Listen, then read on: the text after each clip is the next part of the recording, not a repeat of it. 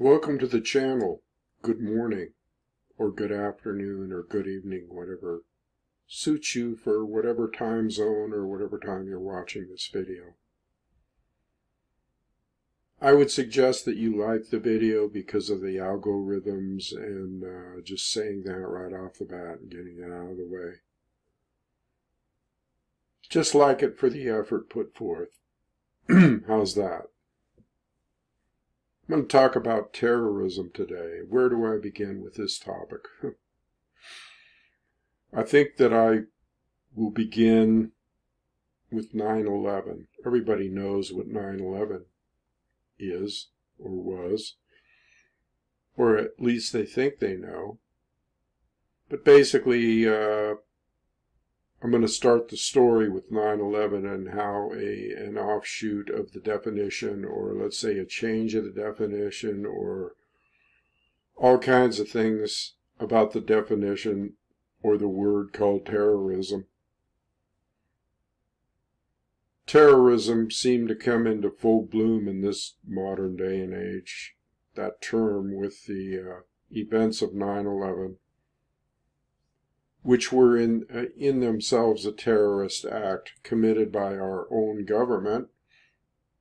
A lot of people still have a hard time owning up to this or admitting it, but there's so much overwhelming evidence by groups like 9-11 for Truth and Pilots, uh, Pilots for Truth, aviation people, ar architects for 9-11 Truth. There's so much evidence that indicates an inside job or let's say a collaboration that you would really have to be basically not have too much intelligence, let's put it that way, to think otherwise. Not have too much reasoning power and all that all that good stuff.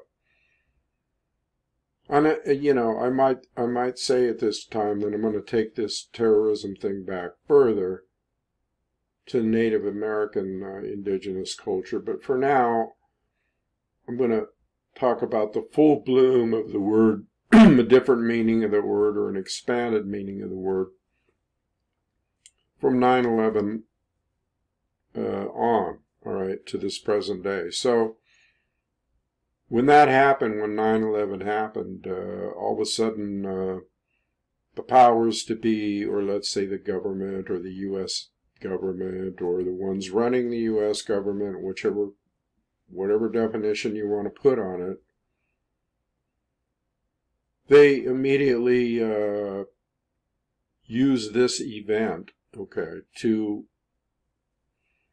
uh, make major changes in uh, American laws and American viewpoint and uh, foreign policy the geopolitical landscape, all that good stuff.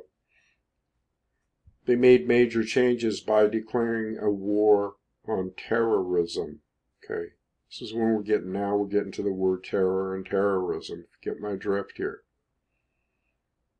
And this war on terrorism was very convenient. There's no coincidence, okay? Uh, it was very convenient for them and also the forming of the Department of Homeland Security and the Patriot Act and all this stuff went hand in hand. It's all connected. So when they declared a war on terrorism, they immediately applied it to the Middle East and Osama bin Laden and later on the Saudis. And uh, as things progressed, as things went on, uh, they talked about an axis of evil, okay, consisting of Middle Eastern countries. And this evolved into just a basic war on terrorist and uh, terrorist activity. this was all a setup, though, see, for things to come, things that are evolving now. So if you look now, at the current definitions of terrorism, other words have been added to it. All right. So basically, what evolved was the term domestic terrorism and uh, information terrorism, things of that nature.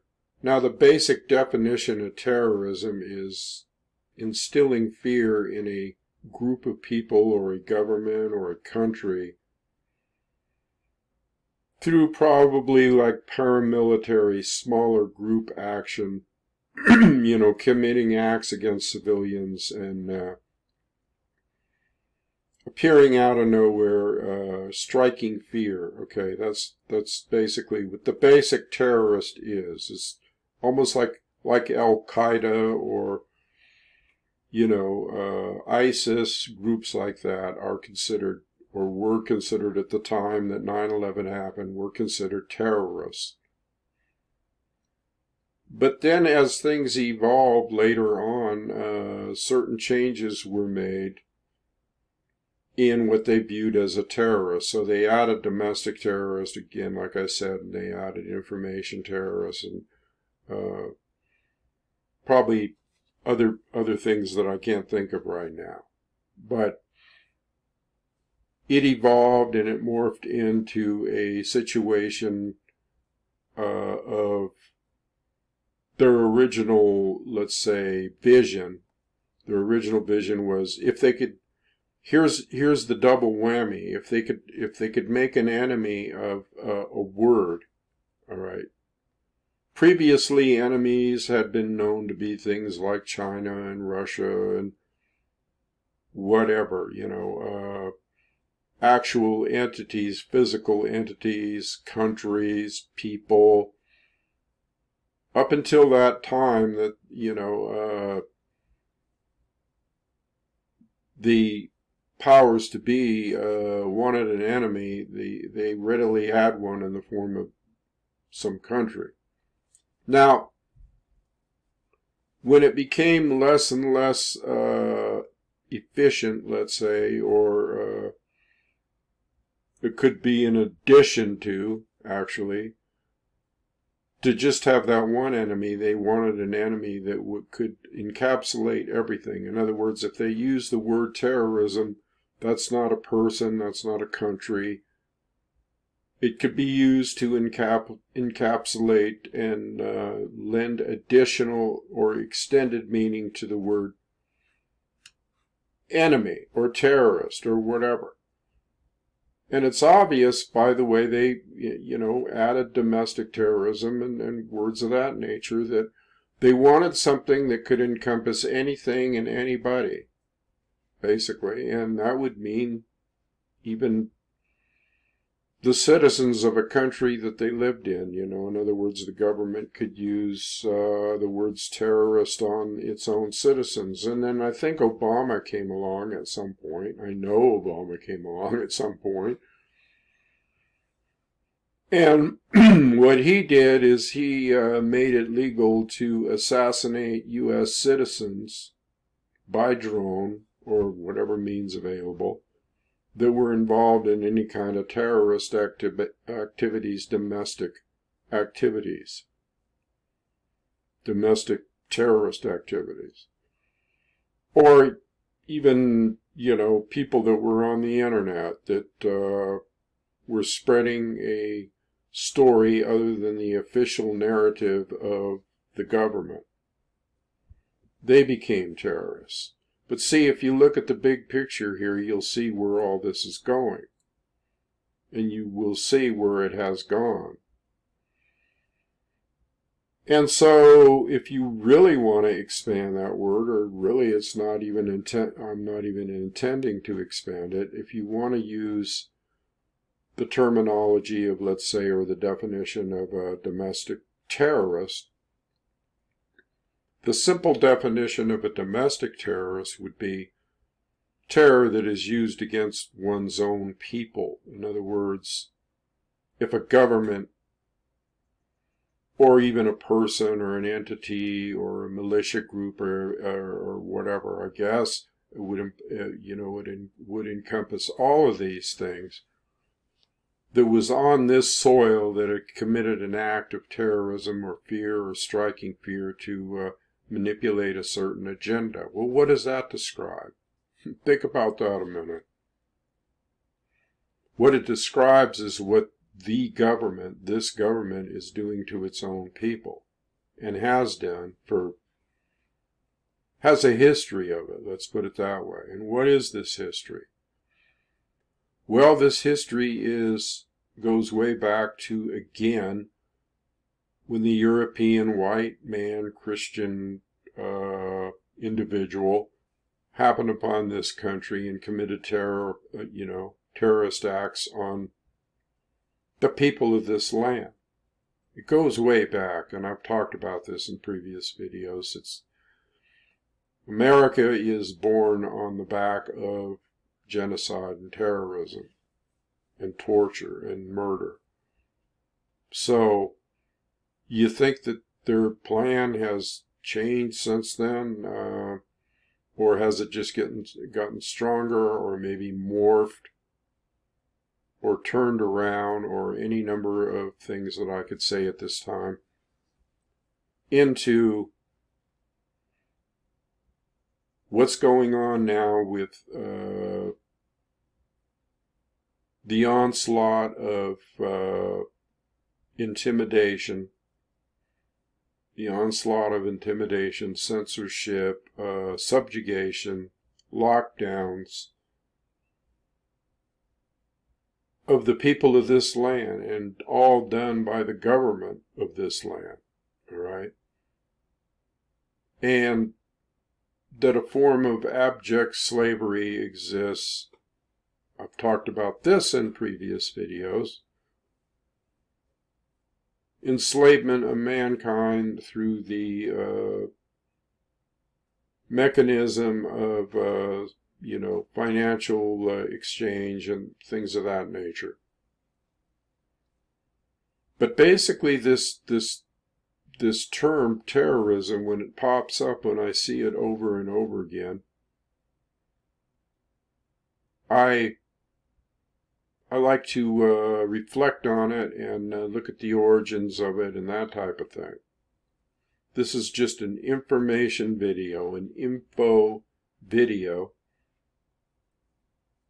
so that you can recognize it not only uh,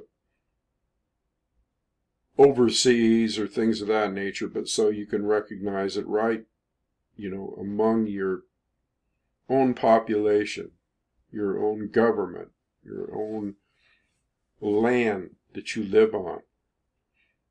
And it's subtle. It can be very subtle and it can move in like a snake, you know, it can move in like a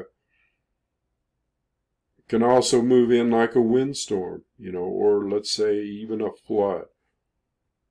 And it starts off as a trickle and then it gets, you know, water has its way of, uh, if you ever watched the trickle out of a hose or anything of that nature lying on the ground, it trickles and then when, you know, as it, as the trickle grows, it grows into a river and then it grows into a ocean or a flood starts off small. So this incorporation of the, you know, the, the enemy of America being terrorism was a boondoggle uh, for American uh, Americans living in this country. And it just swept in uh, insidiously, okay? And do you think that this wasn't orchestrated through the 9-11 thing and, uh, which was, again, that was an inside job. And actually it was pa uh, patterned after a former operation that they had planned called Operation Northwoods, where they were going to accuse, a long time ago in the 60s, they were going to accuse Havana or Cuba of let's say blowing up an airliner, I think it was, and uh, the plan was that the America was going to blow up their own airliner and kill their own people and blame it on Cuba. Okay, basically that was what Operation Northwoods was. And so the 9-11 thing was just kind of a pattern after that. Let's destroy 3,000 people or however many thousand people exactly it was. And let's uh, blame it on somebody else and then they blamed it on the Middle East, which was really they all all along in their mind it wasn't just the Middle East, it was a two-pronged thing. It was actually America as well. And they accomplished their purpose of uh, lulling Americans into some kind of patriotic mindset. Because after 9 11, people were, you know, cruising around in their cars and waving flags and oh they were uh, I think USA USA maybe that's where that term originated and uh, a nationalistic fervor and uh, almost like a Pearl Harbor where everybody wanted to join up and go to war and uh, whatever and name a god country and apple pie well, this has evolved into what we're seeing today. I mean, you know, when something like this is incorporated back years ago, okay, you can be sure that the they have a they have a long long plan strategy. And the strategy is evolving uh, right before our very eyes. And not only is the strategy evolving right before our very eyes, but you could see the use of the strategy or the use of the weapon called terrorism, the word terrorism. And actually, you can really see who the real terrorists are. So, like if you look around the world and uh, what's going on in Ukraine right now with the, especially the latest attack in the Kursk or Kursk region of a place in Russia that was basically not on the front lines or anything, just a rural place, kind of a rural place or offbeat place. Uh, a place of beauty, okay, from what I understand, uh, is all all of a sudden invaded by uh, the Ukrainian horde, and then the connections are immediately made that from Putin's end, end of the uh, his his viewpoint or the Moscow viewpoint or the Russian viewpoint is all of a sudden this war in Ukraine evolved into a terrorist uh, movement or you know a terrorist operation and that's all it could be labeled according to the definition of terrorism which is moving into a certain country and paramilitary groups and striking fear and uh, killing civilians. Here's here's the here's the big thing here. It's the killing of civilians, not a regular military operation where one soldier goes up against another soldier. It's the killing of civilians and the terrorizing and the looting and the raping and all that good stuff or bad stuff is part of what is described as terrorism. So now uh, Russia is realizing that, you know, the, the terrorist uh, card being played by NATO, who is in turn uh, none other than uh, the West or the American government, American uh, America. All right. So now we can see, I mean, it, as if, you know, I didn't see it before. Maybe many people didn't see it before, but now you could see who the real terrorist is. One thing you got to be sure of is that when the government coins a name for something, just like conspiracy theorist or terrorist or whatever, when they coin a term, all right, or expand on that term, you, you, you better believe that their, you know, their, their motive is very impure and dark. Okay. And so, as we move around in this duality, these, these are the things that should be, uh, red flags or that, that should be made aware to you as to how they use a double blind type thing. Whatever they say somebody else is, is actually what they are. And they're letting you know it in by their actions. And they're also conditioning you to the idea of terrorism, even if uh, they end up being the terrorists, all right? It's good to condition to people in that frame of mind because it's a fear frame of mind.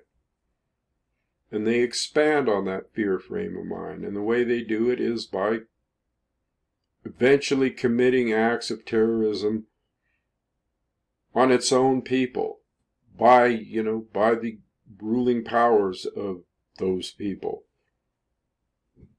And you see this, this, this has been kind of a, a, a thread that has been woven through the fabric of uh, society, again, since the early times of the indigenous people of this land.